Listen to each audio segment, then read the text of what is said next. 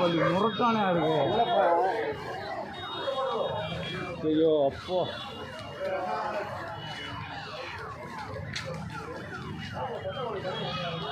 ஊசி பிடிக்கும்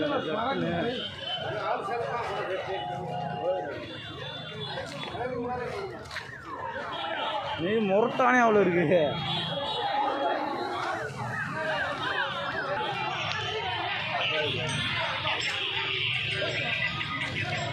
எப்போ பாதை